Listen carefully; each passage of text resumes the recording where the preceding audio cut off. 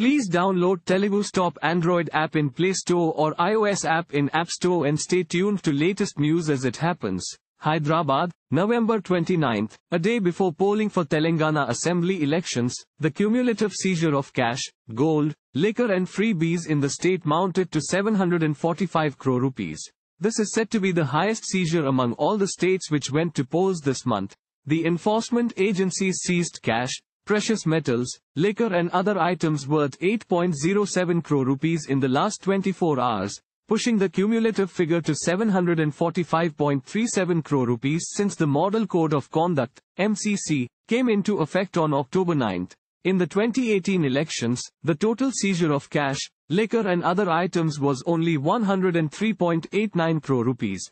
During the 24-hour period ending 9 am on November 29, the agencies seized 3.78 crore rupees in cash. With this the seized cash since October 9 has gone up to 305.72 crore rupees. The agencies also seized 2.66 crore rupees worth of liquor during the 24-hour period. With this the overall value of liquor seized so far has mounted to 127.55 crore rupees. The authorities have seized more than 2.63 lakh litres of liquor, the enforcement agencies seized narcotics worth 27.94 lakh rupees during the last 24 hours. They have so far seized drugs, narcotics worth 40.14 crore rupees. The seized material includes 10,086 kilograms ganja. The cumulative value of the seized gold, silver, diamonds etc. has risen to 187 crore rupees. This includes 303 kilograms gold, 1,195 kilograms silver and 19,297 carat diamonds.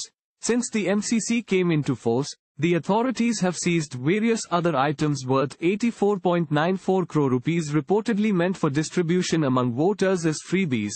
The seized items include 2.98 lakh kgs rice, 9,207 cookers, 89,329 saris, 7 two-wheelers, 10 four-wheelers, 18,566 clocks and 72,473 mobile phones. With a few hours to go for polling, the enforcement agencies and flying squads of the Election Commission were keeping a tight vigil in all 119 constituencies. Leaders of rival parties have accused each other of distributing cash, liquor and freebies among voters. At a few places, they staged protests demanding action against those trying to lure the voters. Thank you for watching. Please subscribe to channel and click on bell for more daily videos.